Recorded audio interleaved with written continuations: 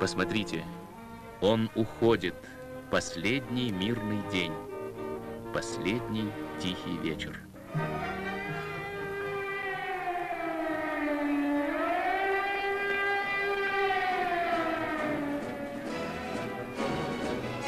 Рассвет изменил счет времени.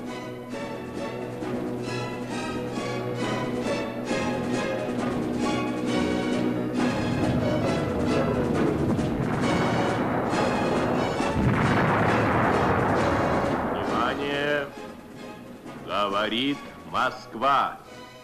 Сегодня в 4 часа утра, без всякого объявления войны, германские вооруженные силы атаковали границы Советского Союза. Началась Великая Отечественная война советского народа против немецко-фашистских захватчиков.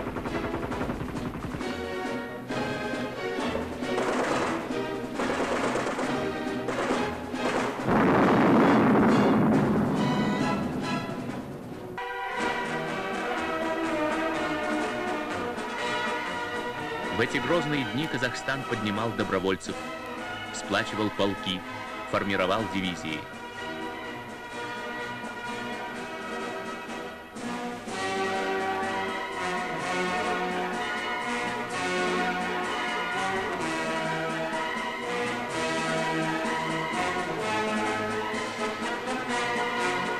По призыву Родины уходили в дальний путь лучшие твои сыновья, Казахстан. В рядах Красной Армии сражались 82 тысячи коммунистов республики, почти две трети всего состава Компартии Казахстана. 242 тысячи юношей и девушек, 70% нашей комсомолии ушли на фронт. Война есть испытание всех экономических и организационных сил каждой нации, писал Владимир Ильич Ленин. И это испытание советский народ выдержал с честью. Война еще раз подтвердила прочность Содружества народов СССР во главе с великим русским народом.